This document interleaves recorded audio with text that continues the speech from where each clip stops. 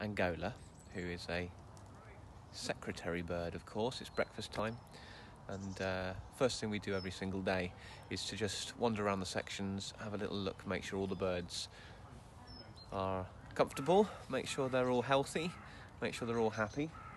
And then uh, for a lot of the birds that are not on the flying team, they're having a rest or uh, they're part of the breeding side of uh, the collection here, uh, they get a little bit of breakfast. And quite a lot of the birds have breakfast in the morning and then tea in the afternoon before we head for home.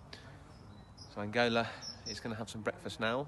He's looking in fine physical health. Glorious bird. Look at those feathers on the back of his head. Exceptionally long legs. Beautiful tail.